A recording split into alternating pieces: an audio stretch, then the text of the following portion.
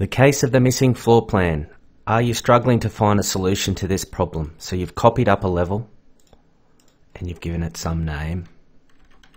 Let's call this one upper roof as an example.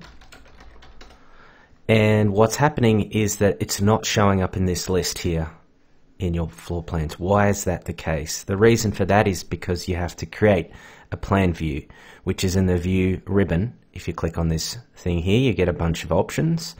You pick which one you will go for. Most would go for the floor plan. I'm going for the structural plan.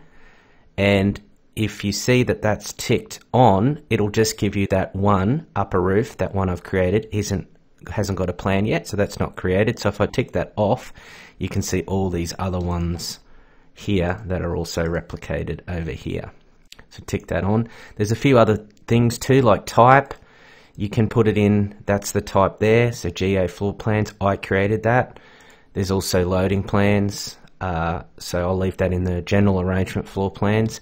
If you go edit type, you, you can also give it a view template that you would like to apply to this view. It's not really essential that you do that now because you can apply it after you create the view.